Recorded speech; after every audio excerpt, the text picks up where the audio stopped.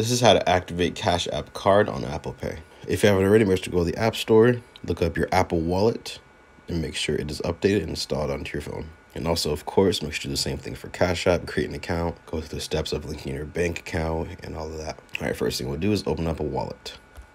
From here, we're gonna go on the top right to the plus icon. From here, we're going to hit on debit or credit card. And from here, if you have your cash card in hand, you can go ahead and take a picture of it. But if not, that's perfectly fine. Go to the bottom here, just enter the card details manually. Once you have this screen right here, we're gonna go and open up Cash App. Once you open it up, we're gonna go to the bottom here to the card icon. Your card number, we're gonna go and press on the numbers and then copy it.